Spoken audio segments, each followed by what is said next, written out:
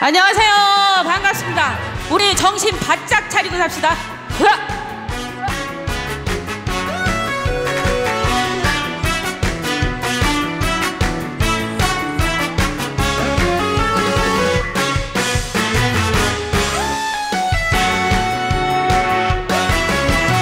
이쁘게 정신 좀 차리시게나 이제 자네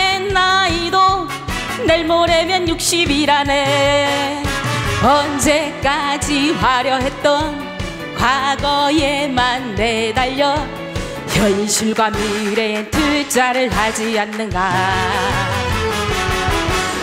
지금 당장 과거에서 뛰쳐나와 주어진 시간 속에 최선을 다해보면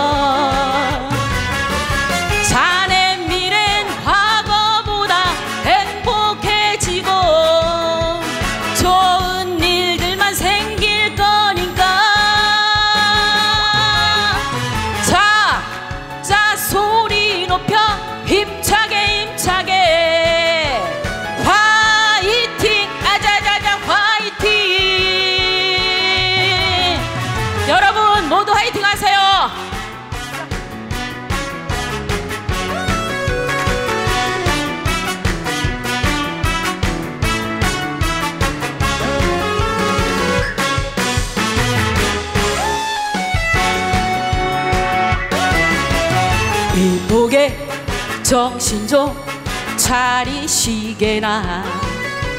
이제 자네 나이도 내일 모레면 60이라네. 언제까지 화려했던 과거에만 내달려 현실과 미래엔 투자를 하지 않는가.